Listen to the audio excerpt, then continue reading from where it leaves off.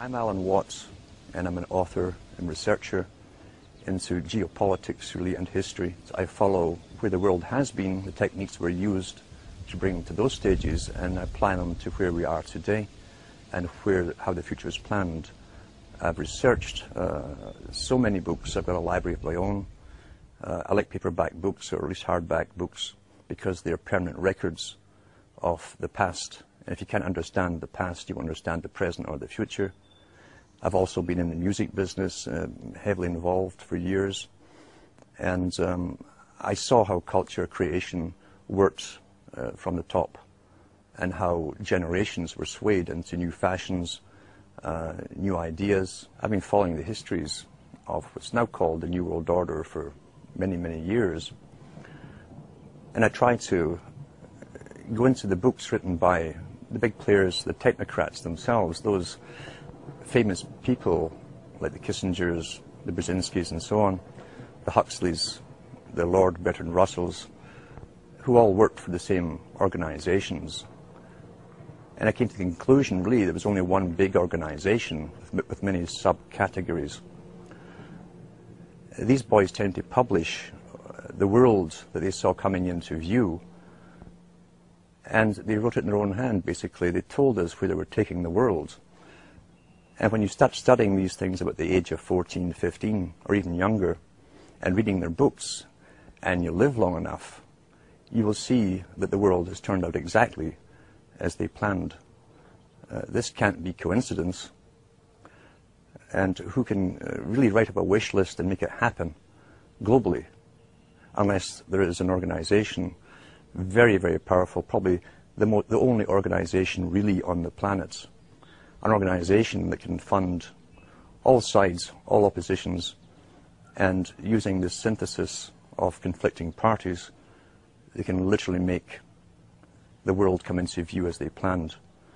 They plan in centuries, and the astonishing thing is when you go into the United Nations, which was loosely based on the Soviet system, they plan certain parts of their agenda in 50-year plans, some in 100-year plans, and some even in 150-year plans for different aspects of it. The Russells, the Huxleys, and so on, Brzezinskis, also use the same terminology with their long-term plans. And you've got to understand, too, that nothing in culture comes out from the grassroots. Uh, even Plato talked about that thousands of years ago he said that if it was a grassroots movement uh, really coming from the people, then those in charge, the dominant minority, would lose control. Therefore, every change in culture, right down to fashion and music, and this was written 2,300 years ago, had to be authorized from the top and promoted from the top if it fitted with the, the continuance of control over the public. And these are sciences which were taught down through the ages are still taught today through the big players. And they've used it to the full in the 20th century, now into the 21st century with the use of television, mass communications, radio, etc. Everything has been given to us for the appropriate time and stage in the actual planning. And uh, for those who are coming into this kind of study, it's best to go into the books, as I say, written by the big players themselves. They love to boast. Yeah, Kissinger's got lots of books out there, so has Brzezinski. Uh, these are probably two of the master players in geopolitics. Try to stay away from all the conspiracy books. They can, they're also put out there on purpose. Very fascinating books. But they lead you in circles forever without giving you the overall picture to the fact that every generation has a purpose up until this present time. And in a post-industrial era, these big boys have decided and their masters too, that we are simply superfluous and they no longer need us. Hence, we have uh, big foundations coming forward and organizations like the Optimum Population Trust who have decided to come out openly and demand that governments start radically reducing the populations.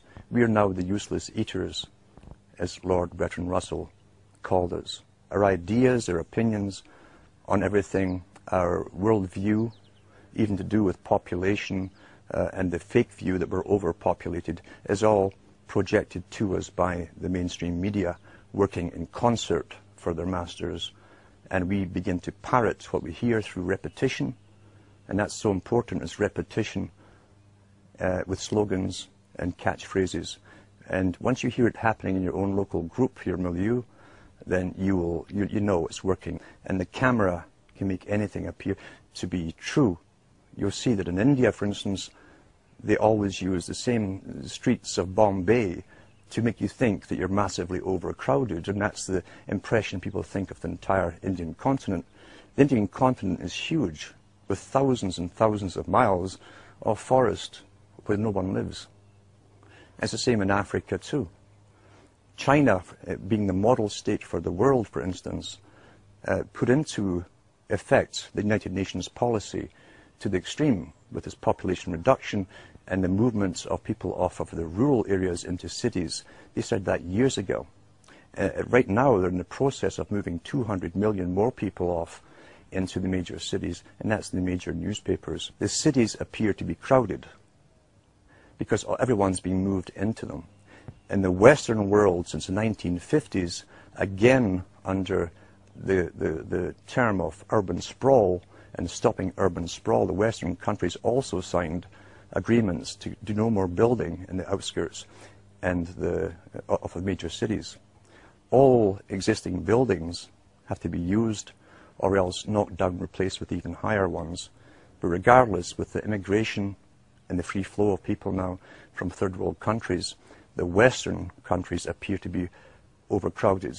And yet the UN's own statistics show, and sort of the national census show, uh, that the Europeans, for instance, Canadians and Americans uh, who have been here for a couple of hundred years are actually in decline. So the overpopulation problem is simply an image projected by the media as more and more people are crammed into the same cities and they bring more immigrants in to fill them.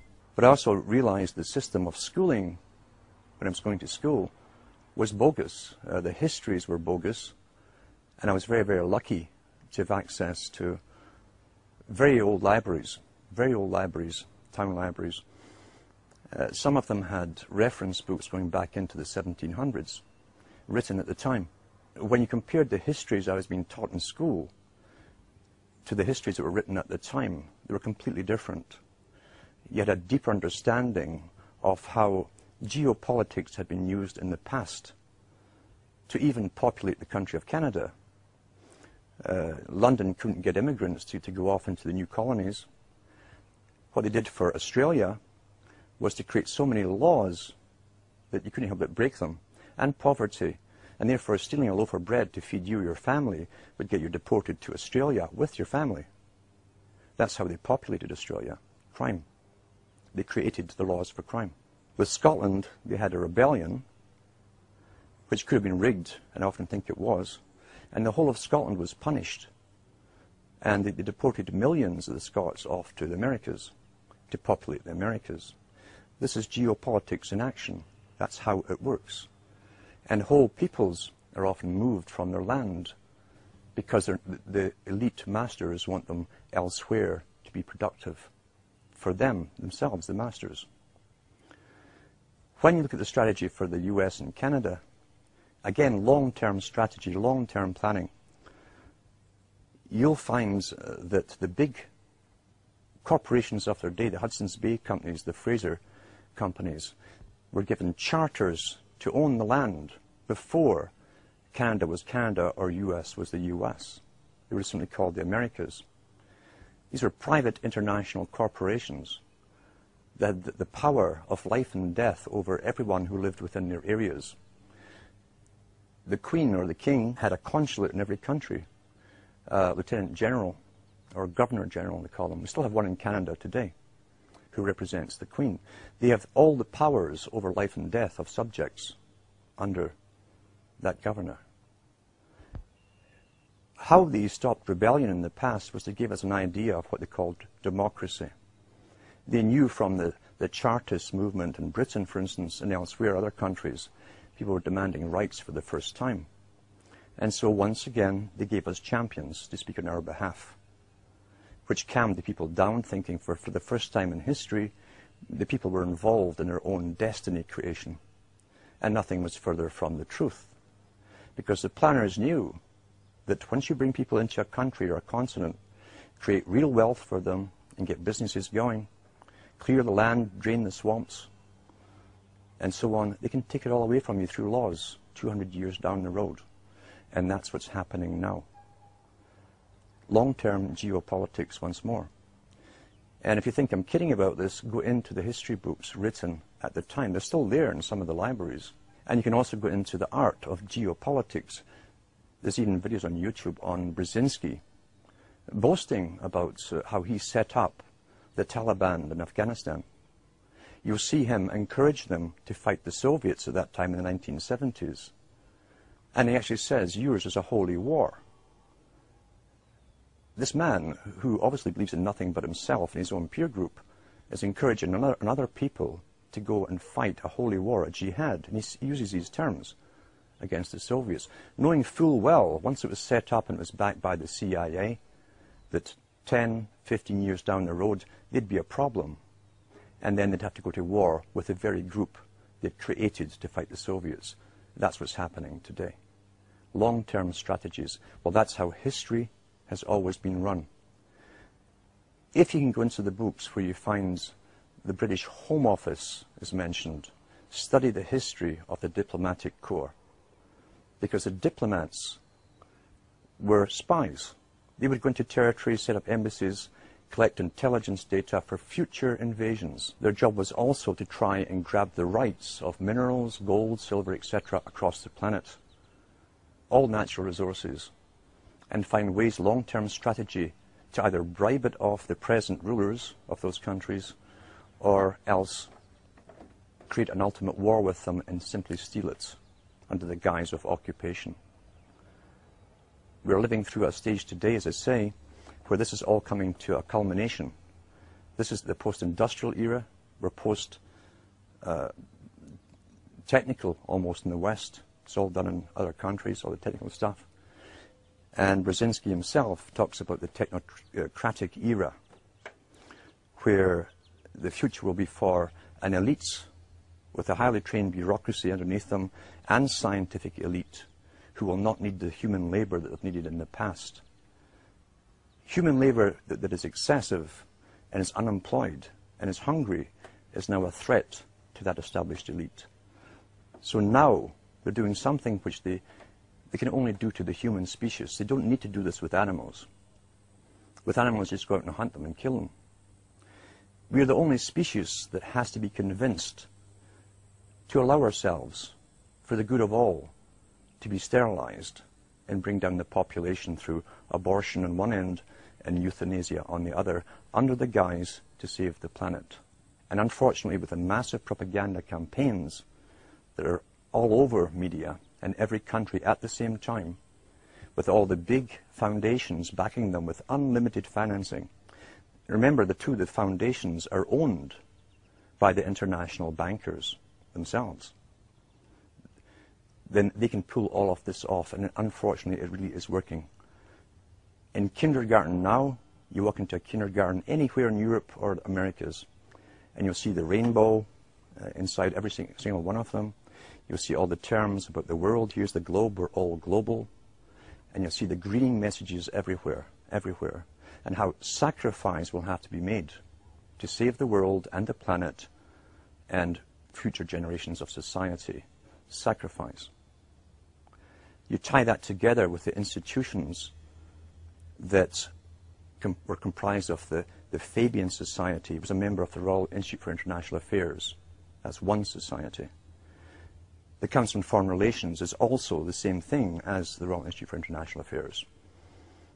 They are what Thatcher and Professor Carroll Quigley called the parallel government. They have told us what the future is going to be.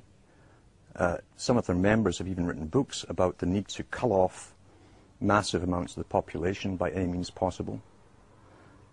And so we see this final stage being pushed as they convince us that we are the problem.